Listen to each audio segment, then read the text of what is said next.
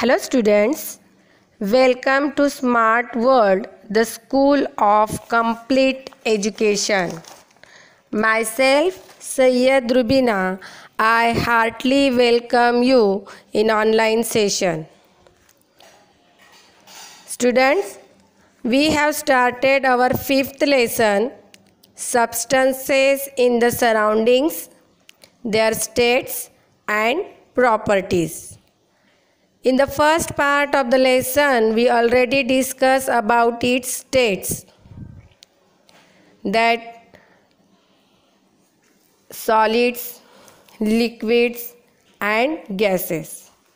Apart from this, we have studied heat and change of physical state also, use of thermometer, boiling point, freezing point and sublimation.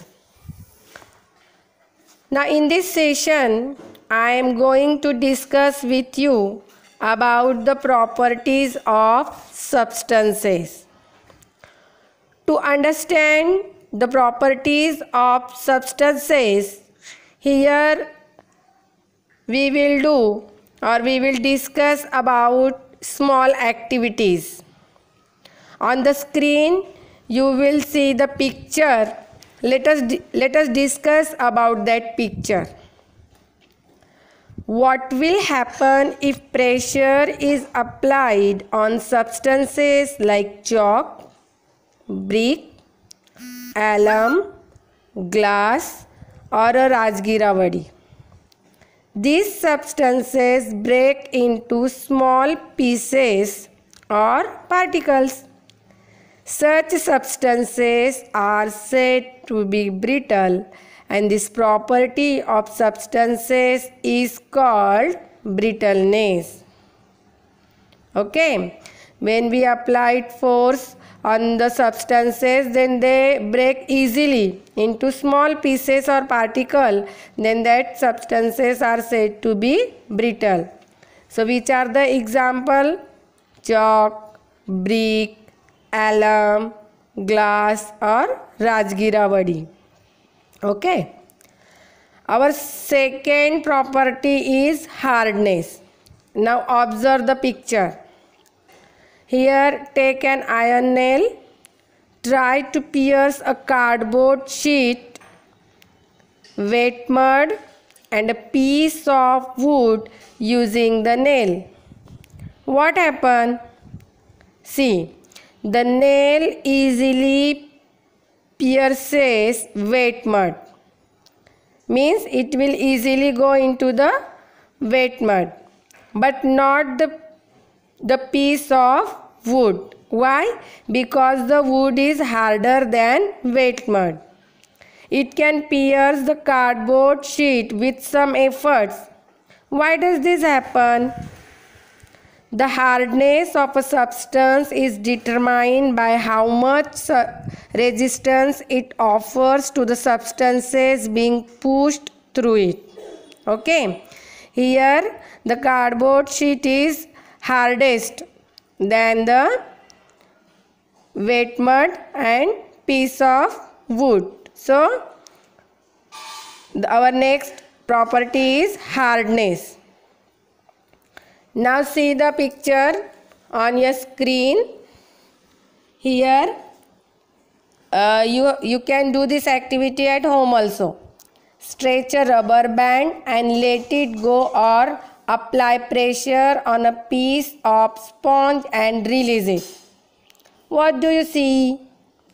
The rubber band and the sponge go back to their original shape. Some substances change their shape when a force is applied on them but return to their original shape and size when the force is removed and this property is called elasticity.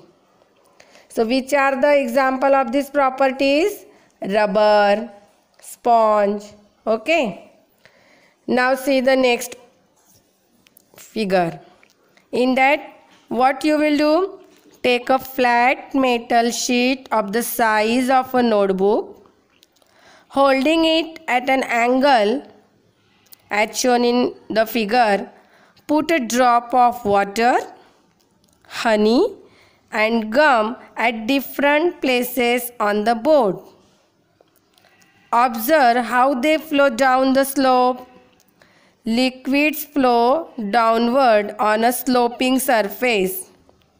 This property is called fluidity. The fluidity of any liquid is determined by how easy it flows. In this case, water flows rapidly. First, which liquid will flow? Water. Means the fluidity of water is more as compared to honey and gum.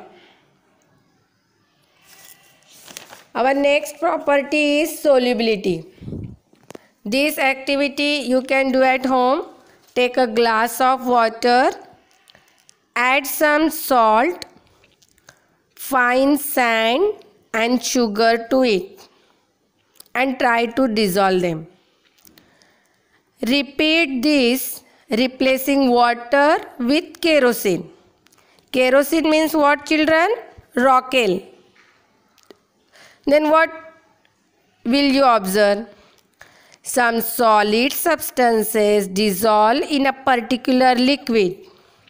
If a solid does not dissolve in a liquid, it is said to be insoluble in that liquid. For example, salt is soluble in water, but it is insoluble in kerosene.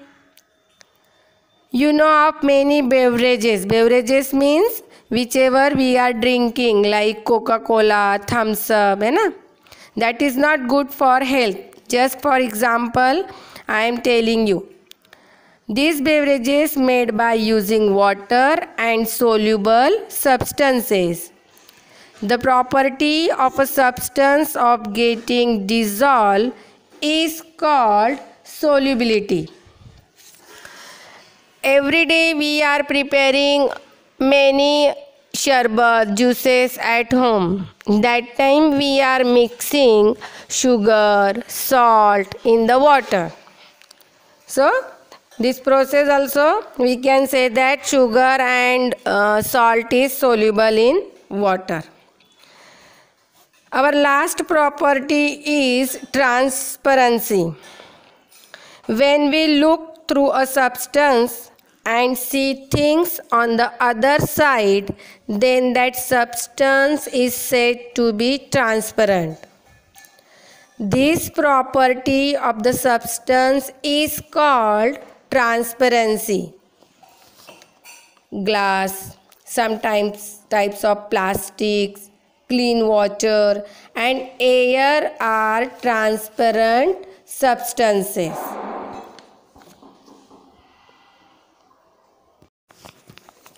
Now students, let's discuss about metals and the properties of metals. Substances like copper, gold, iron, aluminium are called metals. Metals are found in the form of minerals deep inside the earth. Minerals from the earth crust are processed to obtain the metal. In daily life, metals have various important uses. Now let us study some common properties of metals. To understand the properties, see the picture. Take a piece of copper or aluminium wire or a small nail. Hammer it repeatedly. What do you observe? On hammering repeatedly, the wire become flat. That is, it form a thin sheet. Metals can be converted into sheets by hammering. This property of metals is called malleability. It means that on hammering we can get the fine sheet that is the malleability. If we will hammer to non-metal for example chalk or plastic then we could not get the fine sheet. So only metals shows the property of malleability. Now second property. Metals can be stretched and drawn into wires. This property of metals is called ductility.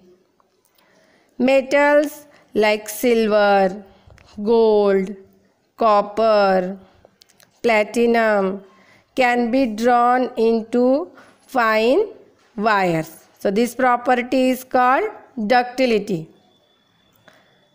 Hot iron is hammered and made into thin sheets. If we will visit to the blacksmith shop, how they are hammering and they because of the hammering it causes it to stretch. Iron bars made to revolve continuously while being hammered become longer. The iron can be drawn into a wire. So the next property is ductility. Metals can be stretched and drawn into wire. This property of metal is called ductility. Children, you know that electricity flows through metals. All metals are conductors of electricity to a greater or lesser extent. This property is called electrical conductivity. Even when a piece of metal is heated at one place, the whole of it becomes hot. It shows that metals allow heat to flow through them. This property is called thermal conductivity. If we are giving heat to one end of the metal, then the heat passes from one place to another and the other part also uh, we can get the heat. So to avoid the burn, utensils which we are using in the kitchen, they are having plastic handle. You can see in the picture. As the plastics are bad conductor of electricity.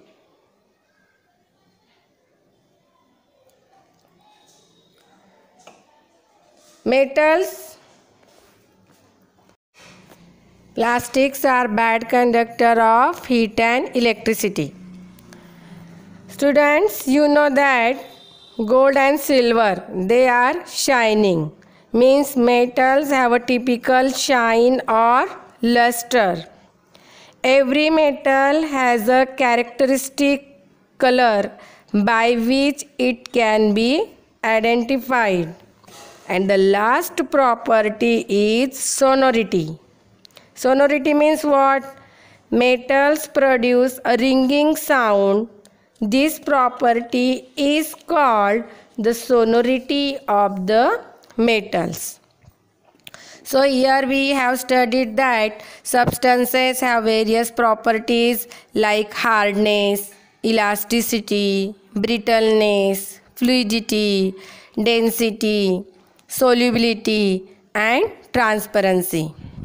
Apart from this we have studied about metals also.